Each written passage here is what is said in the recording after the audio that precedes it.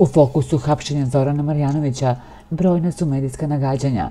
Naime, u vezi sa tim, fokus medijske pažnje dospela je iz Zorica Zoka Mitrović. Navodno, za nju su komšije Marjanovića tvrdile da je devojka najpoznatijeg udovca iz Borče, Zorana Marjanovića. Spekuliše se i da Zorica navodno već uveliko živi u Borči, kao u svojoj kući, i da dočekuje goste poput prave domaćice. Navodno, Zorica se na dan Zoranovog hapšenja automobilom zaletela na inspektore koji su došli da ga privedu. Interesantno je koliko Zorica podsjeća na pokojnu pevačicu, sličnost između njih dve je potpuno neverovatna. I Zorica je crnka, ima šiške kao Jelena, izgleda kao njena kopija. Da li je u pitanju puka slučajnost ili namera, niko još nije utvrdio. Nekoliko nedelja nakon Jeleninog ubistva, devojka koja se na Facebooku potpisuje kao Zorica Zoka je pokrenula grupu Podrška za Zorana Marjanovića, Ona je tamo Zorana branila svim srcem i napadala novinare koji ružno pišu o njemu.